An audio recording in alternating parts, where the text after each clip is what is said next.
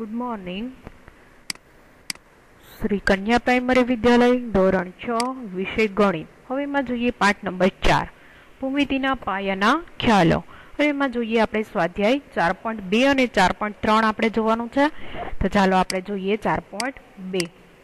ચાર પોઈન્ટ બે ની અંદર શું કહે છે? નીચેના વક્ર, નીચેના વક્રનું ખુલ્લું અને બંધમાં બંનેમાં આપણે વર્ગીકરણ કરવાનું છે. કે બંધ છે કે ખુલ્લું છે તે આપણે જોવાનું છે.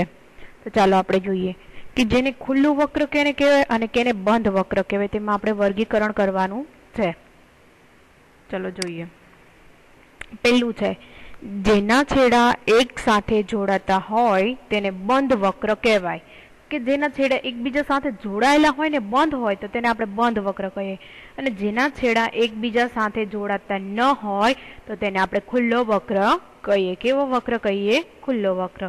તો જેના છેડા એકબીજા સાથે જોડાયેલા ન હોય, તો આ પેલું છે ને આપણે કેવો કહી શકીએ? કેમ કે એના બંને છેડા ખુલ્લા છે, તો આને કેવો આપણે વક્ર કહી શકીએ? ખુલ્લો વક્ર કહી શકાય. પણ આના જોઈએ તો બંને છેડા બંધ છે, તો આને કેવો કહી શકાય? બંધ વક્ર કહી શકાય. કેવો કહી શકાય? બંધ વક્ર. અને પછી જ્યારે જોઈએ, આપણે બાજુની જોઈએ આકૃતિ સી, તો એ કેવી દર્શાવે છે? સી આકૃતિ છે ખુલ્લા વક્રની બતાવે છે. કેમ કે ખુલ્લું છે, બંધ નથી. પણ જ્યારે આપણે ત્રિકોણ જોઈએ છીએ, તો એ કેવો છે? બંધ છે, એટલે એને બંધ વક્ર દર્શાવે. આ આકૃતિ પણ ગ્લાસ છે કેવો છે? બંધ વક્ર દર્શાવે છે. એ જ રીતે આપણે જોઈએ દાખલા નંબર બે. નીચેની પરિસ્થિતિમાં દર્શાવેલ રફ આકૃતિ દોરવાની છે. એક ખુલ્લો આકરની એક ખુલ્લા વક્રની અને એક બંધ વક્રની. તો ચાલો આપણે આકૃતિ દોરી અને જોઈએ કે કઈ રીતે દોરાય છે.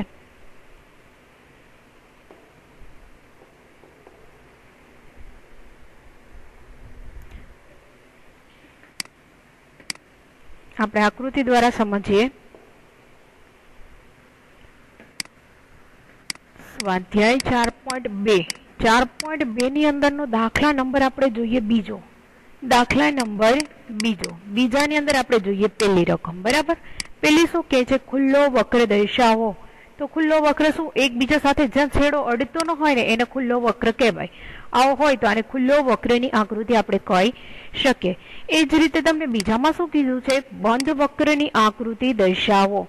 બંધ વક્ર કોને કહી શકાય? કે જે એકબીજા સાથે જોડાયેલો હોય અને તે બંધ હોય તો તેને આપણે બંધ વક્ર કહી શકીએ. તો આ આકૃતિ છે એ કેવી કહી શકાય? આને બંધ વક્રની આકૃતિ કહી શકાય. કઈ કહી શકાય? બંધ વક્ર. અને આને કેવી કહેવાય? ખુલ્લો વક્ર. કેમ કે ખુલ્લું છે, બંધ નથી. હવે ત્રીજી આકૃતિમાં ત્રીજા પ્રશ્નમાં શું કહે છે? કોઈ પણ બહુકોણ દોરી અને તેના અંદરનો ભાગ છે એ છાયાંકિત કરવાનો છે. તો આપણે બહુકોણ દોરીએ. જોઈએ દાખલો. દાખલા નંબર ત્રણ. દાખલા નંબર ત્રણની અંદર કોઈ પણ આકૃતિ કે છે ને એને છાયાંકિત કરવાની છે, તો ચાલો આપણે આકૃતિ દોરીએ.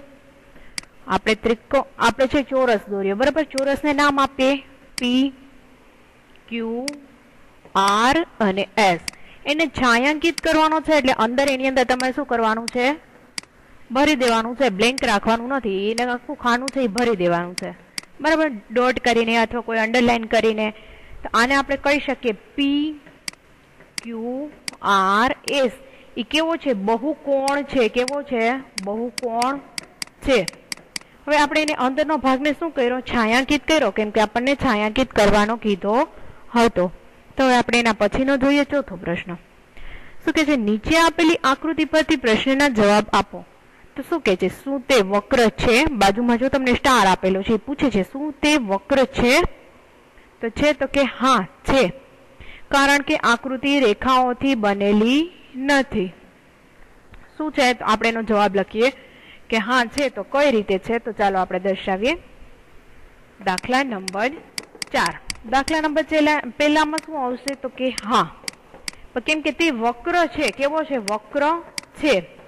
અને તેની આકૃતિ છે રેખાખંડોથી બનેલી નથી. કેનાથી બનેલી નથી? રેખાખંડથી બનેલી નથી. રેખાખંડોથી બનેલી નથી. ત્યાર પછીનું જોઈએ, શું તે બંધ છે?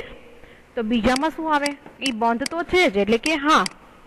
તે છેડાઓ એકબીજાથી જોડે છે. છેડાઓ છે એકબીજાથી શું કરે છે? જોડે છે. એના છેડાઓ છે એકબીજાની સાથે જોડાયેલા છે. તો આપણે એમ કહી શકીએ કે હા, તે બંધ છે. ત્યાર પછીનું જોઈએ આપણે દાખલા નંબર પાંચ. જો શક્ય હોય તો નીચેની પરિસ્થિતિ દર્શાવતી રફ આકૃતિ દોરો. નીચેની રફ આકૃતિ દર્શાવવાનું કે છે ખાલી આકૃતિ જ આપણે દોરવાની છે કે કઈ રીતે આની આકૃતિ દોરી શકાય એ આપણે સમજીએ. તો પેલું શું કે બંધ વક્ર કે જે બહુકોણ ન હોય. તો ચાલો આપણે એની આકૃતિ દોરીએ અને જોઈએ. દાખલા નંબર પાંચ. દાખલા નંબર પાંચની અંદર શું કે બંધ વક્ર છે કે જે બહુકોણ ન હોય. બરાબર, બહુકોણ ન હોય અને પાછો કેવો કે છે, બંધ વક્ર હોવો જોઈએ. તો આ આપણે આ દોર્યો એ કેવો કહી શકાય? બંધ વક્ર કહી શકાય અને એ બહુકોણ ન હોય. અહીંયા આપેલી આકૃતિ છે, બંધ વક્ર છે, પરંતુ તે બહુકોણ છે નહીં. આપણે જોઈએ છીએ કે એક બાજુ રેખાખંડ નથી, પણ વક્ર છે. બહુકોણ છે રેખાખંડ વડેલી બનેલી બંધ આકૃતિ હોય છે. ત્યાર પછીનો બીજો છે, બી. એની અંદર શું કે છે? અહીંયા દર્શાવેલી એમ કે છે ખુલ્લો વક્ર કે જે સંપૂર્ણ રેખાખંડનો જ બનેલો હોય. રેખાખંડનો હોય અને ખુલ્લો હોય. તો આ રેખાખંડનો બનેલો છે અને ખુલ્લો છે, કે જેને બંને છેડા એકબીજાની સાથે જોડાતા નથી અને ખુલ્લા છે. ત્રીજું શું કે? બે બાજુવાળો બહુકોણ. તો શું કે? બે બાજુવાળો બહુકોણ દોરી ન શકાય. શું કરાય? દોરી ન શકાય. કે દોરી શકાતો નથી. ત્યાર પછીનું આપણે જોઈએ. અહીંયા છે એ આપણું સ્વાધ્યાય છે એ કમ્પ્લીટ થાય છે. ત્યાર પછીનું આપણે સ્વાધ્યાય જોવાનું છે. સ્વાધ્યાય ચાર પોઈન્ટ ત્રણ. હવે જોઈએ સ્વાધ્યાય ચાર પોઈન્ટ ત્રણ. સ્વાધ્યાય ચાર પોઈન્ટ ત્રણની અંદર શું કહે છે? સ્વાધ્યાય ચાર પોઈન્ટ ત્રણમાં બાજુમાં આપેલી આકૃતિ પરથી એના ખૂણા આપણે લખવાના છે. તો ખૂણા કયા કયા અને કઈ રીતે લખી શકાય? તો કે સામાન્ય ઉદ્ભવતા બે બિંદુ. ભિન્ન કિરણો વડે ખૂણો બને છે, તે ધ્યાનમાં રાખતી બાજુ એની આકૃતિ કહી શકાય. અહીંયા આપણે કહીએ કે ખૂણો એ ખૂણો એ લઈએ. તો એને મારે દર્શાવવો હોય તો કઈ રીતે લખી શકાય? ડી એ, અહીંયા આપણે લઈએ ડી એ બી. તો આપણે ખૂણો ડી એ બી દર્શાવી શકીએ. જો હું ખૂણો સી લઉં અને મારે દર્શાવવો હોય તો ડી સી બી દર્શાવી શકાય. એ રીતે આપણે ખૂણો દર્શાવી શકીએ. છીએ. તો ચાલો આપણે લખીએ કે કઈ રીતે લખી શકાય છે? જોઈએ. સ્વાધ્યાય ચાર પોઈન્ટ ત્રણ. સ્વાધ્યાય ચાર પોઈન્ટ ત્રણની અંદર આપણે હવે દર્શાવીએ દાખલા નંબર પહેલો. દાખલા નંબર પહેલો લખીએ. હવે જોઈએ. ખૂણા દર્શાવવાના છે. પેલું લખીએ ખૂણો એ. અથવા એને લખવું હોય મારે, તેને કેમ લખી શકાય? ડી એ બી હવે એ જ રીતે હું લઉં બી બીજો છે. બીજો ખૂણો કઈ લઉં? બી. બી અથવા મારે એને દર્શાવવો હોય, તો એને કઈ રીતે દર્શાવી શકું? એ, બી અને સી. હવે એ જ રીતે હું ત્રીજું લઉં છું. ખૂણો સી. અથવા મારે એને દર્શાવવું હોય, તો કઈ રીતે લખી શકાય? ખૂણો બી, સી, ડી. હવે એ જ રીતે હું લઉં છું ચોથો, બરાબર? ચોથો છે એ ખૂણો કયો છે? ડી. ડી અથવા મારે એને દર્શાવવો હોય તો ખૂણો હું લખી શકું સી ડી એ બરાબર? અહીંયા આપણે આ રીતે એના ચાર ખૂણા છે એ દર્શાવી શકીએ છીએ. ત્યાર પછીના આપણે જોઈએ. શું કે છે? બાજુમાં આપેલી આકૃતિ પરથી માંગ્યા મુજબના બિંદુઓ લખવાના છે. તો હવે જોઈએ પેલું શું કે છે? ડી ઓ ઈ નું અંદરનું બિંદુ શું છે? જોઈએ. ડી ઓ ઈ તો કે ડી ડી ઓ અને ઈ વચ્ચેનું અંદરનું બિંદુ ક્યુ છે? તો કે એ બિંદુ છે. ક્યુ બિંદુ છે? એ બિંદુ છે. તો આપણે એનો જવાબ લખી શકીએ. એ બિંદુ છે. હવે એ જ રીતે એ આપણને બીજું કહે છે. બીજું કહે છે એ આપણને શું કહે છે? તો આપણે જોઈએ બીજું. બીજું છે, ઈ આપણને ઈ ઓ એફ ના બહારના બિંદુ ક્યાં ક્યાં છે? એ આપણને કહે છે. તો કે ઈ ઓ અને એફ ના, બહારના બિંદુ ક્યાં ક્યાં છે એ આપણને કહે છે. તો બહારના બિંદુ ક્યાં ક્યાં કહી શકાય? એક આ સી અને એક આ ઈ બિંદુ. બરાબર? એ બહારનું બિંદુ કહી શકાય. ક્યુ કહી શકાય? સી અને એક એ. એ બહારના બિંદુ છે. હવે એ જ રીતે આપણને દાખલા નંબર ત્રણની અંદર આપણને પાછું આપ્યું છે. દાખલા નંબર ત્રણની અંદર શું કહે છે આપણને? કે ઈ, ઓ, એફ પરના બિંદુ. ઈ, ઓ અને એફ કે છે. બરાબર? ઈ ઓ અને એફ પરના બિંદુઓ આપણે દર્શાવવાના છે. તો કે ઈ ઓ ઈ ઓ એફની બાજુ શું છે? ઓ ઈ ઓ ઈ એના પર બાજુ છે. એના પર કયું બિંદુ આવેલું છે? તો કે બી બિંદુ આવેલું છે. તેથી કે ઈ ઈ ઓ એફ ઉપર આવેલા બિંદુ ક્યાં ક્યાં કહી શકાય? તો કે એફ ઓ બી અને ઈ બરાબર? આ આ બિંદુ છે એ આપણે એના કહી શકીએ કે આ બિંદુ એના ઉપર આવેલા છે. આપણે સંપૂર્ણ ત્રણે ત્રણના જવાબ આપેલા છે, એટલે ત્રણે ત્રણના જવાબ તમે લખી લેશો. ત્યાર પછીનું આપણે જોઈએ. દાખલા નંબર ત્રણ. નીચેની પરિસ્થિતિ દર્શાવતા બે ખૂણાઓની કાચી આકૃતિ દોરો. કાચી આકૃતિ દોરવાની છે કે કઈ રીતે આપણે દોરીએ? કાચી આકૃતિ જોઈએ. બંનેમાં એક સામાન્ય બિંદુ હોય. બંનેમાં એક સામાન્ય બિંદુ હોય તો ચાલો આપણે દોરીએ દાખલો. દાખલા નંબર જોઈએ. દાખલા નંબર ત્રણ. દાખલા નંબર ત્રણની અંદર પહેલું જોઈએ. બંનેમાં એક સામાન્ય બિંદુ હોવું જોઈએ. એટલે આપણે દોરીએ. બંનેમાં એક સામાન્ય બિંદુ હોવું જોઈએ. કોઈ પણ કોમન એક બિંદુ હોવું જોઈએ. તો આપણે આકૃતિ દોરી તો એનું સામાન્ય બિંદુ વચ્ચે અહીંયા છે કે જે અહીંયા આપણે એનું સામાન્ય બિંદુ કહી શકીએ. સામાન્ય બિંદુ છે બી હવે આ રીતે અહીંયા આપણે બી દર્શાવી શકીએ કે બી છે એનું સામાન્ય બિંદુ છે. તો આને આપણે નામ આપી શકીએ સી, ડી અને એ. તમે અહીંયા દોરેલી આકૃતિ જુઓ તો આપણે એમ લખી શકીએ ખૂણો એ, બી અને ડી. અને ખૂણો ડી, બી, સી નું એક સામાન્ય બિંદુ કયું કહી શકાય? સામાન્ય બિંદુ બી કહી શકાય. કયું કહી શકાય? બી હવે એ જ રીતે આપણે જોઈએ બીજું. તો બીજાની અંદર શું કે બે સામાન્ય બિંદુ હોવા જોઈએ. તો ચાલો આપણે દોરીએ. બે સામાન્ય બિંદુ હોવા જોઈએ. તો બે સામાન્ય બિંદુ કઈ રીતે દર્શાવી શકાય છે? બે સામાન્ય બિંદુ. એટલે જો અહીંયા આપણે બે સામાન્ય બિંદુ એના દર્શાવવાના છે.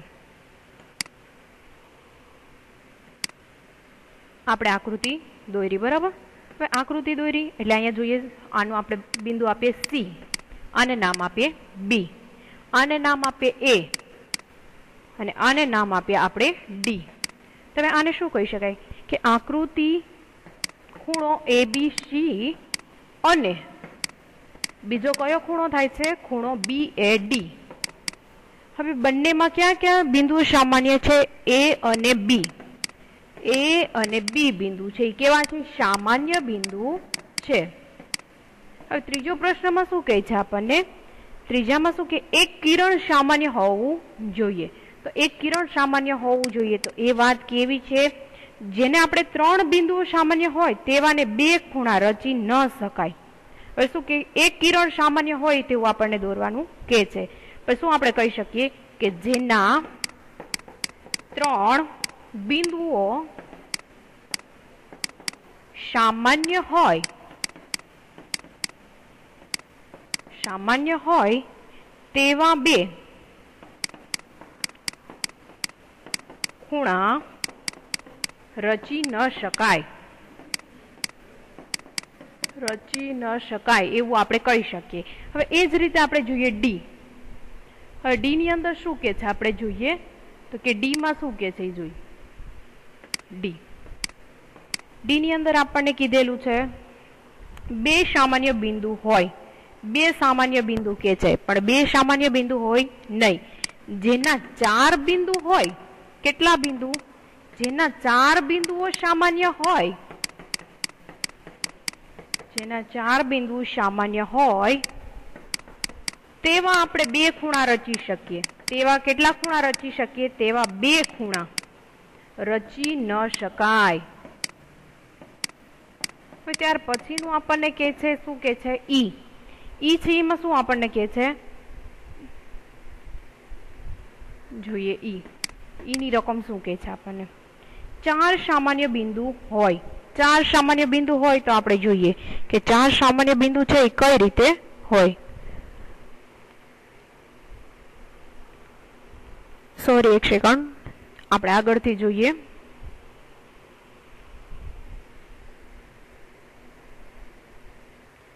ચલો જોઈએ. પહેલો અને બીજો કમ્પ્લીટ છે, ત્રીજો જોઈએ. ત્રીજામાં સીમાં આપણને શું કહે છે? કે ત્રણ સામાન્ય બિંદુ હોય. જેના ત્રણ બિંદુ સામાન્ય હોય તેવા બે ખૂણા રચી ન શકાય. ત્યાર પછીનું આપણે જોઈએ ડી ડીમાં શું કે ચાર સામાન્ય બિંદુઓ હોય. ચાર સામાન્ય બિંદુઓ હોય તેવું આપણને રચવાનું કહે છે. તો આપણે એમ કહીએ છીએ કે જેના ચાર ચાર બિંદુઓ છે સામાન્ય હોય તેવા બે ખૂણા રચી ન શકાય. ત્યાર પછીનો ઈ દાખલો છે. એમાં શું કે એક કિરણ સામાન્ય હોય. એક કિરણ સામાન્ય હોય તો કઈ રીતે હોય આપણે જોઈએ કે એક કિરણ છે એ સામાન્ય કઈ રીતે દોરી શકાય છે?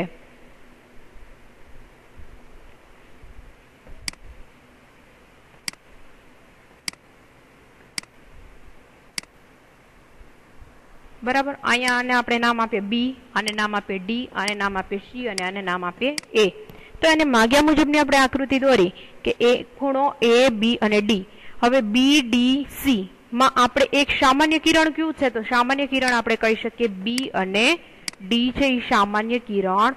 છે કે જ્યાં અહીંયા આપણે વચ્ચે જોઈ શકીએ છીએ કે ઈ એક સામાન્ય કિરણ છે. અહીંયા છે આપણું સ્વાધ્યાય છે એ કમ્પ્લીટ થાય છે. Thank you